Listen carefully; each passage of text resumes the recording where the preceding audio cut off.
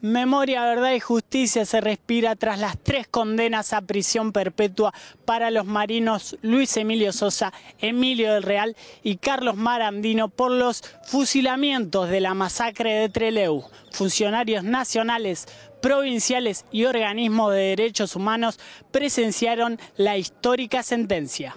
Es un fallo importante porque, bueno, echa por tierra aquellos años de impunidad de aquella patria fusilada en 1972 que trajo y fue el comienzo de las peores tragedias argentinas, puesto que empezaron a apuntar los fusiles de nuestras Fuerzas Armadas hacia quienes eh, eran parte del pueblo argentino, por lo tanto creo que hoy es un día histórico, hoy resuenan en todos lados también esos, esos años de dolor, de dolor que estaban en las cárceles de Rawson, en todas las cárceles del país, de aquellos argentinos que fueron perseguidos, torturados, asesinados. Hoy es uno de esos días en los cuales es un aire fresco y también un cariño hacia todas las víctimas, porque hoy, bueno, por suerte estamos en un estado casi a 30 años de democracia que está por sobre todas las cosas, cuidando, escuchando a las víctimas, este, sancionando a los responsables de aquella tragedia y por supuesto esto no hace más que generarnos un alto nivel de satisfacción. Esta sentencia eh, me trajo una satisfacción enorme,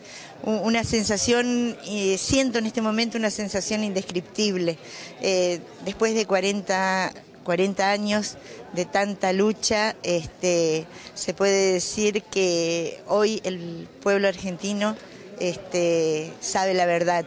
sabe la verdad y los asesinos fueron condenados. Esto también muestra la enorme capacidad de la democracia argentina de poder juzgar, de poder juzgar como corresponde eh, a los responsables que son también argentinos. Estas cosas, los juicios de lesa humanidad habitualmente han sido juzgados no en el país a donde sucede, sino fuera, en otros lugares, en otros países.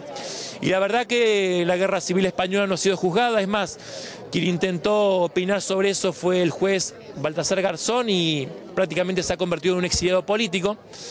de la Guerra Civil Española quedan este, una muy bonita acuarela de Guernica o retoños del árbol que sobrevivió al bombardeo eh, alemán. Eh, pero bueno, de la Guerra Civil Española no se habla, no se dice, no se toca.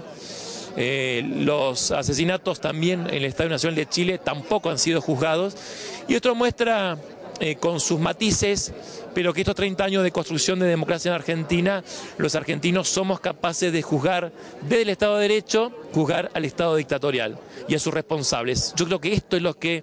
marca una diferencia, no solamente como parte de la propia historia, sino fundamentalmente lo que sucede también en otros países que a veces son puestos como ejemplo para muchas cosas, pero para esto no lo son. Y evidentemente es una emoción muy grande, juega un papel muy fuerte porque Eduardo tuvo una participación desde el inicio, desde el momento, desde antes que ocurrieran los hechos, cuando se trató de evitar y no se pudo, pero que evidentemente en lo personal también es una satisfacción que haya estado presente en todos los familiares que lo han recordado, en los propios abogados y que esto es posible gracias a que a partir del 25 de mayo del 2003 eh, Néstor Kirchner puso a la Argentina en un camino distinto donde la profundización de la democracia permite que esto no quede impune y eso creo que es el valor más importante de esta sentencia.